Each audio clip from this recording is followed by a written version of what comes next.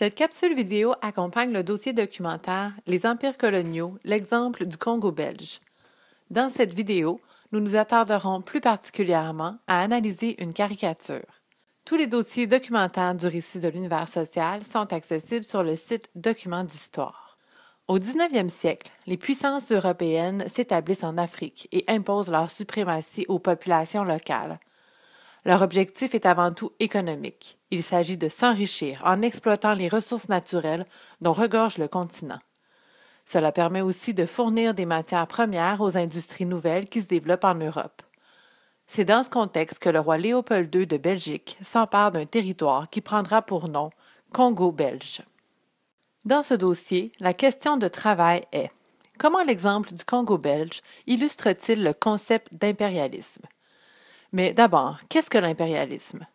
C'est lorsqu'un État impose une suprématie économique, politique et culturelle sur un territoire et sur sa population. Prenons maintenant l'amorce du dossier. Elle présente une caricature, accompagnée d'un court texte rédigé par l'équipe du récit de l'univers social. Pour faciliter la lecture du document, tu peux te poser des questions à partir des mots d'interrogation suivants. Qui, quand, où, quoi, pourquoi? Et comment.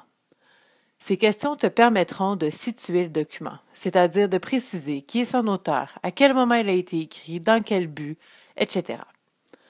Ensuite, tu pourras lire et comprendre le contenu du document.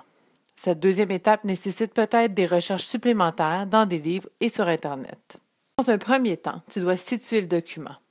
Pour cela, examine d'abord la source de l'image. Elle t'apprend qu'il s'agit d'une caricature créée par Draner, c'est-à-dire Jules Renard, en 1885 et publiée dans le journal français L'Illustration. Jette maintenant un coup d'œil global à la caricature. Que peux-tu apercevoir? Six hommes sont assis autour d'une table. Ils regardent celui qui est debout et qui s'apprête à couper le gâteau sur lequel est écrit le mot Afrique.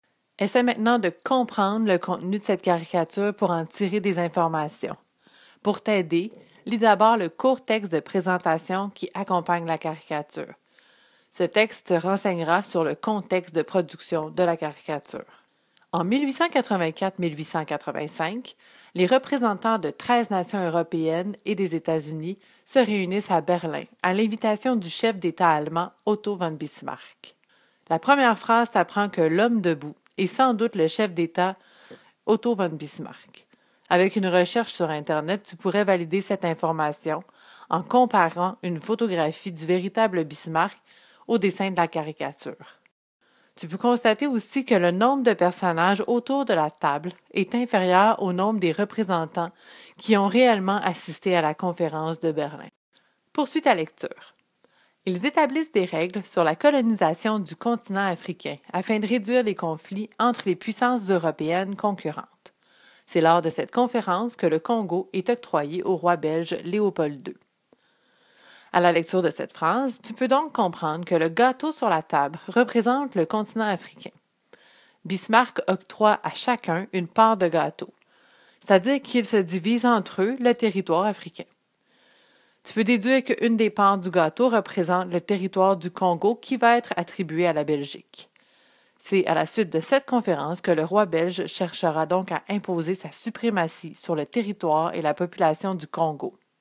Les six documents du dossier te permettront d'approfondir la manière dont la Belgique va imposer ses visées impérialistes sur ce territoire africain.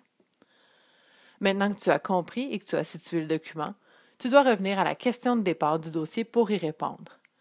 Comment l'exemple du Congo belge illustre-t-il le concept d'impérialisme? À ton tour de répondre à la question. Bon travail.